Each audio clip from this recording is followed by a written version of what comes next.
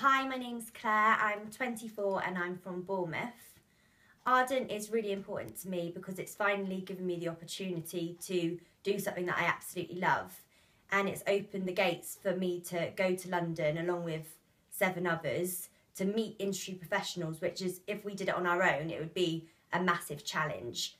Also, it's great for people back at university to know that this is something that they could work towards and be excited about.